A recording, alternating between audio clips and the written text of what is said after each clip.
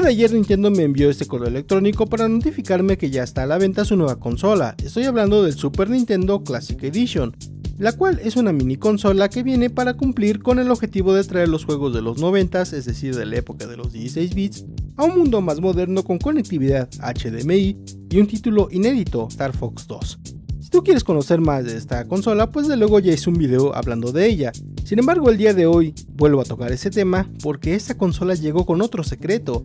Si tú quieres saber de qué se trata este oscuro secreto y cómo podríamos sacarle ventaja, pues quédate conmigo, porque yo soy el crítico de la tecnología y tú estás en una nueva edición del Quickcast.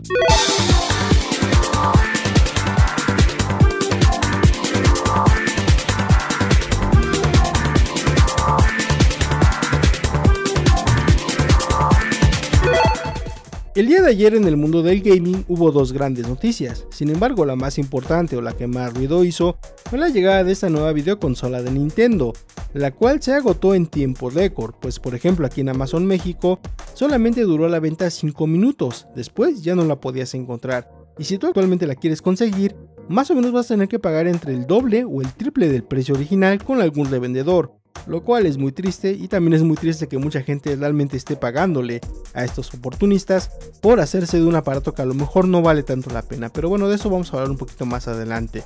Em, si tú quieres ver el unboxing y ver los juegos y todo eso, hay montones, hay decenas de videos en YouTube de gente pues que desde luego está haciendo ese trabajo de subir el video, el unboxing, mostrar que hay dentro de la caja, etc. Em, sin embargo, mi video está enfocado a otra cosa. Eh, está enfocado un tema que muchos ya sospechábamos desde que se anunció esta consola y que desde luego pues ya es una realidad 100% confirmada. La SNES Classic Edition o SNES Mini es la misma consola que el NES Classic o NES Mini. Es decir, ¿se acuerdan de la anterior consola que sacó Nintendo? Esta que estás viendo aquí en pantalla. Pues bueno, el hardware que tiene adentro es el mismo que tiene la SNES Mini. Así que básicamente Nintendo te está vendiendo exactamente el mismo hardware por segundo año consecutivo, pero el sombrero es nuevo. Sin embargo, este video no lo hice para esparcir hate contra Nintendo por esta cuestionable decisión de mercado. Y digo cuestionable porque yo la entiendo y de cierta manera eh, creo que es la correcta. Ya que eh, para emular juegos, por si no lo sabes, la NES Mini original era simplemente un emulador dentro de una distribución Linux. Eh, pues para emular juegos de Nintendo o de Super Nintendo básicamente no necesitas grandes especificaciones técnicas. Estas consolas tienen 256 eh, MB de memoria RAM y 512 MB de almacenamiento, lo cual es suficiente para emular sin ningún problema tanto el Nintendo como el Super Nintendo. Entonces realmente no tenía caso que Nintendo aumentara las especificaciones para emular juegos que realmente pues no lo requieren, que pueden correr perfectamente en el mismo hardware. Entonces no va por ahí. Creo que a mí no me molesta tanto que sea la misma consola. Eh, por otro lado yo le veo un gran potencial. Y es que si tú recuerdas, hace unos meses yo te hice incluso yo te hice el tutorial de cómo flashear tu NES Mini, esta consolita, para meterle más juegos utilizando una herramienta que se llama Tachi 2. Em, lo que le da mucha esperanza a algunos usuarios con respecto al SNES Mini es de que al tratarse del mismo hardware es muy posible que sea eh, igual de fácil el poderla hackear para poder instalar más juegos, no solamente esta colección que Nintendo te está incluyendo gratis en la consola, bueno, gratis entre comillas, sino que vas a poder agregar a lo mejor una librería pues más amplia con otros títulos que a lo mejor no están en esta lista y que desde luego tú tienes ganas de jugar. Eh, recordemos que el Super Nintendo tuvo una pues una librería bastante pero bastante amplia. Entonces, eh, a pesar de que hicieron una selección muy buena de juegos, hay otros grandes que se quedaron fuera. Por ejemplo, los que faltan de la saga de Mega Man X serían un ejemplo que me viene a la mente eh, bastante rápido. Em, entonces, todavía no hay nada al respecto. Pero recordemos que a la NES Mini tardaron en hackearla como un mes o probablemente menos. Entonces es probable que al SNES Mini pues igualmente le tarden muy pero muy poco en sacarle esta herramienta. Ahora bien, eso es por un lado. Por otro lado, eh, yo me pregunto y te pregunto a ti, ¿crees que vale la pena realmente hackear esta consola? ¿Tú la compraste o la piensas comprar realmente para jugar? Em, yo tengo mis dudas sobre eso. Yo siempre he dicho que este tipo de consolas mini, tanto esta como esta son más que nada artículos que vas a tener en tu librero, es decir, artículos como tema de conversación, em, o bien para simplemente eh, mostrárselo a tus amigos, o igual también de venderlo dentro de algunos años a un precio pues mucho más elevado de lo que cuesta ahorita, porque este sin duda va a ser un artículo eh, altamente coleccionable. Em, yo no lo veo tanto como una opción para jugar títulos de Super Nintendo, porque creo que hay mucho mejores opciones.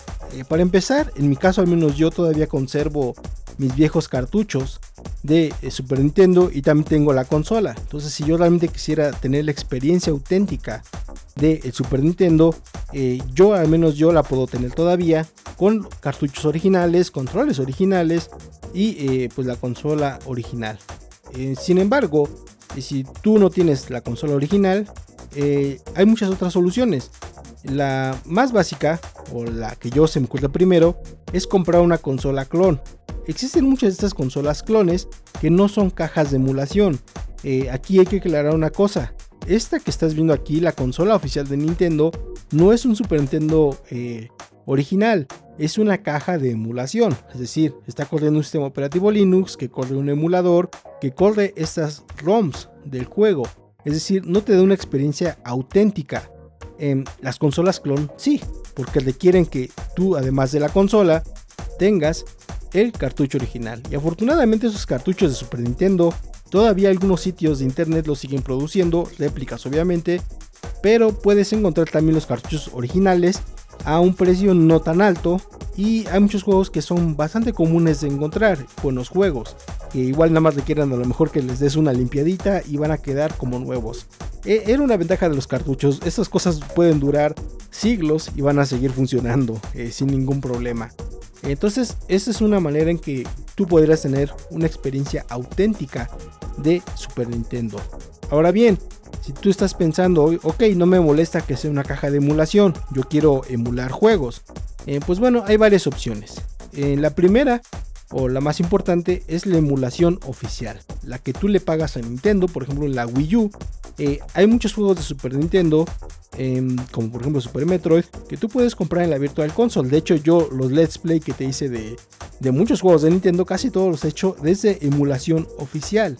Eh, ya sea en la Wii U o también en la 3DS es posible encontrar juegos de Super Nintendo y otras consolas de esta compañía a un precio que no es tan alto. Por ejemplo, Super Metro creo que me costó 60 pesos, Mario World 80 y así. O es una emulación bastante buena, con una muy buena calidad de imagen y eh, está más accesible porque es en consolas eh, más modernas y fáciles de encontrar. Ahorita es probable que un Wii U te cueste menos que el SNES Mini y lo mismo un 3DS.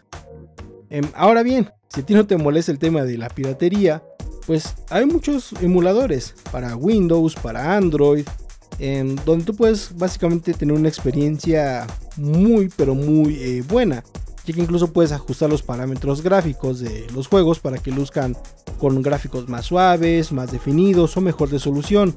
Algo que no puedes hacer con la SNES Classic Edition, porque esta tiene 720p y se acabó. No puedes poner mejores gráficos, tiene un par de filtros, pero no puedes no tiene el nivel de detalle que puedes conseguir con un emulador como es 9X, tanto en Windows como en Android.